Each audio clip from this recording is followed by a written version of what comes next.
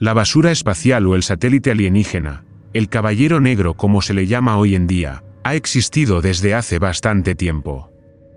Ha sido identificado como un satélite alienígena y aunque hay imágenes de este objeto, muchos siguen siendo escépticos sobre su propósito y origen. El descubrimiento del satélite Caballero Negro es quizás uno de los objetos espaciales más famosos que han orbitado nuestro planeta.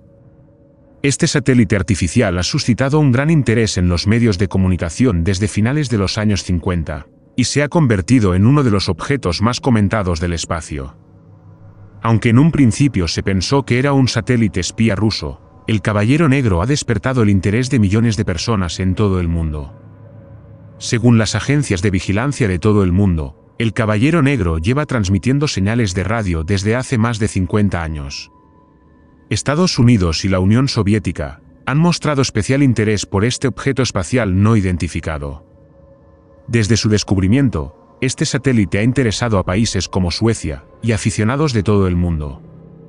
Uno de ellos es un operador de radioaficionado, que aparentemente había decodificado una serie de señales recibidas del satélite OVNI, y lo interpretó como un mapa estelar centrado en el sistema estelar Pulcher-Rima, y que el Caballero Negro se originó en este sistema hace 13.000 años. Pero, según muchos, este descubrimiento se produjo mucho antes de lo que se pensaba. Los rumores dicen que fue Nikola Tesla el primer hombre que interceptó una señal de este satélite de otro mundo en 1899, tras construir un dispositivo de radio de alto voltaje en Colorado Springs. Tras el descubrimiento de Tesla, en los siguientes 30 o 50 años la señal fue interceptada con mayor frecuencia, hasta que aparentemente fue decodificada. Desde la década de 1930, los astrónomos de todo el mundo han informado de extrañas señales de radio que supuestamente proceden del Caballero Negro. En 1957, el doctor Luis Corralos, del Ministerio de Comunicaciones de Venezuela, lo fotografió mientras tomaba imágenes del Sputnik 2, cuando pasaba por encima de Caracas. Lo más extraño es que, a diferencia de los Sputnik, el satélite Caballero Negro orbitaba la Tierra de este a oeste. Los Sputnik orbitaban de oeste a este, utilizando la rotación natural de la Tierra para mantener la órbita. La historia del Caballero Negro debutó en los medios de comunicación en la década de 1940. Esto es lo que dijeron al respecto. Hace tres semanas, los titulares anunciaban que Estados Unidos había detectado un misterioso satélite oscuro, que sobrevolaba la zona en una órbita regular se especuló con la posibilidad de que se tratara de un satélite de vigilancia lanzado por los rusos, y se tuvo la incómoda sensación de que Estados Unidos no sabía lo que estaba ocurriendo sobre sus cielos. Pero la semana pasada, el Departamento de Defensa anunció con orgullo que el satélite había sido identificado. Se trataba de un abandonado espacial, los restos de un satélite Discoverer de la Fuerza Aérea que se había extraviado.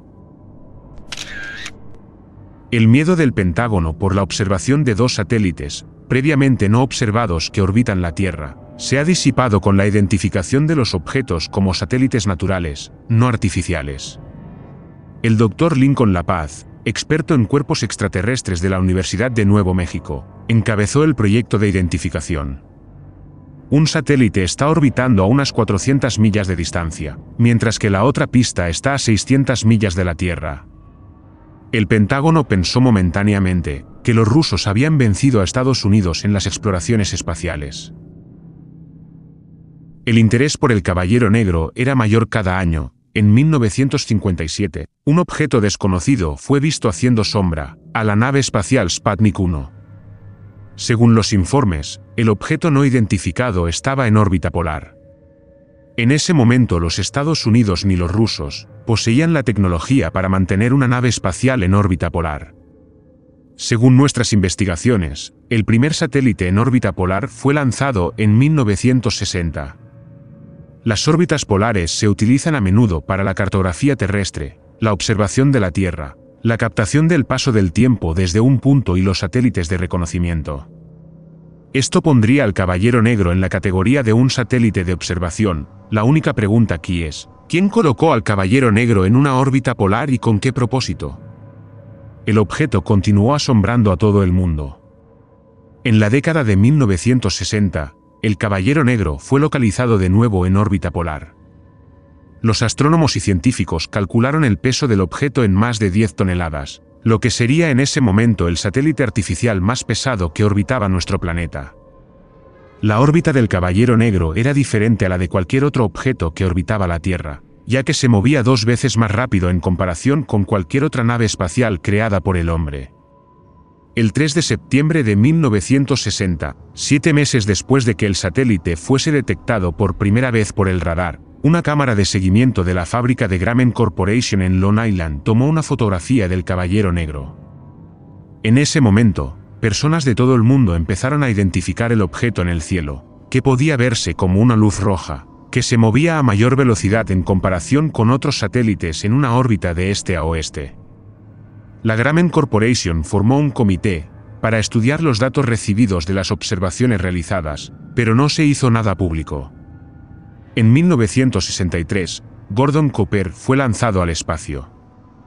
En su última órbita, informó de que había visto un objeto verde brillante delante de su cápsula en la distancia, moviéndose hacia su nave espacial. La estación de seguimiento de Muchea, en Australia, a la que Cooper informó del objeto, captó este objeto no identificado en el radar viajando de este a oeste. La NBC informó de ello, pero después de que Cooper regresara a la Tierra, no se permitió a los reporteros preguntar a Cooper sobre el objeto no identificado. La explicación oficial dada al avistamiento de Cooper fue de que tuvo alucinaciones provocadas por altos niveles de dióxido de carbono. El Caballero Negro ha sido un tema de interés en todo el mundo. Hasta hoy, la mayor parte de la información oficial sobre el misterioso objeto se mantiene a salvo y alejada de la sociedad. Nadie ha respondido a algunas de las preguntas más sencillas y lógicas de formular. ¿Quién colocó ese satélite en la órbita polar? ¿Con qué propósito? ¿Es el Caballero Negro un satélite extraterrestre enviado a la Tierra para estudiar a la raza humana? ¿El satélite intentó comunicarse con la raza humana? ¿Hemos ignorado los intentos de comunicación? Una cosa es segura. El Caballero Negro sigue siendo uno de los objetos más misteriosos que orbitan nuestro planeta.